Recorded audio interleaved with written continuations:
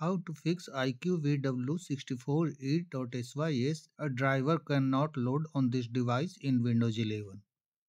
Hello friends, you might encounter this error message on every restart of your computer. This message appears because the core isolation memory integrity is turned on. You will need to disable memory integrity to stop this error message. But this leads to weaken the security of your operating system and computer.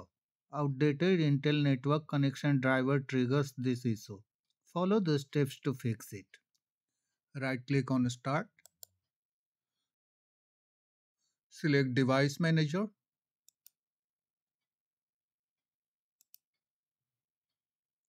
Click on View from the menu bar. Select Show Hidden Devices. Click on this arrow to expand network adapters. Find Intel network connection in the list. Suppose this is Intel network connection. Right click on this and select uninstall device. Click on uninstall. If there are multiple drivers, uninstall all of them. Repeat the same process to uninstall. Right click, select uninstall device. Close the device manager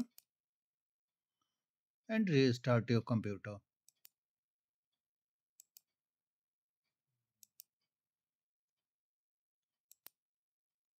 That's all friends.